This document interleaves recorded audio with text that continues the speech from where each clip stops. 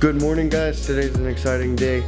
We're gonna go to the Eagle's Nest. It's probably, it's gonna be really interesting going there. I'm excited because it's on a huge mountain. You take a huge elevator to get there and uh, it's gonna be really cool for shots. So I got this backpack and we're ready to roll.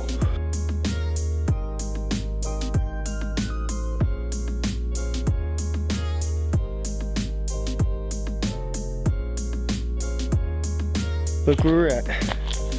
So we took a bus to another bus to a 450 meter elevator ride to get up here. But here we are, up on top of this mountain. That building right there is Hitler's like vacation home thing, but it's beautiful.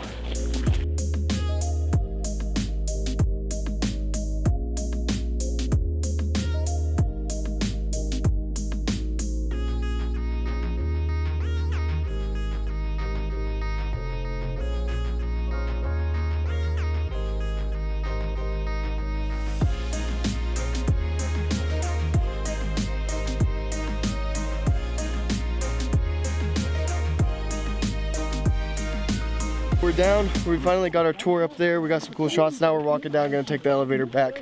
But this is Gert, our tour guide. He's been really awesome and helpful. Gave us a lot of cool facts, especially about sound and music. So thank you, Gert. Yeah. Appreciate it.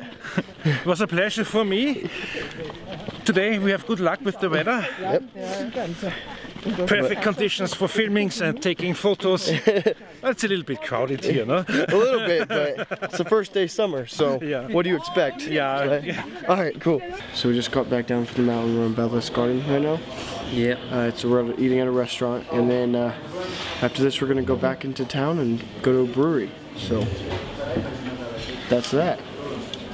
What did you What did you think about the mountain? Mountain was insane. Um, to be walking where Hitler was walking is a bit mad, but up there in his own little, as they say, nest. So actually, where we were, were was like a place where he, it was given, it was built for him for his 50th birthday, and then he would take people up there to uh, visit. He'd have meetings up there and all this crazy Discuss stuff. tactics. He took Mus- Mussolini, the Italian leader, up there. Yep. So pretty rough history, but beautiful sight. What's